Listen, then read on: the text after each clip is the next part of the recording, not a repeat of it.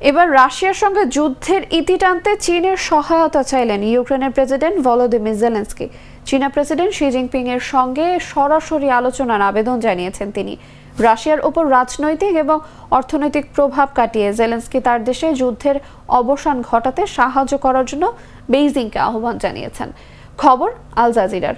South China morning পোস্টকে দেওয়া এক সাক্ষাৎকারে জেলেন্সকি বলেন, গত চব্বিশ ফেব্রুয়ারি ইউক্রেনে রাশিয়ার আগ্রাসন শুরু হওয়ার পর থেকে তিনি চীনা প্রেসিডেন্টের সঙ্গে আলাপ করার অনুরোধ করে আসছেন।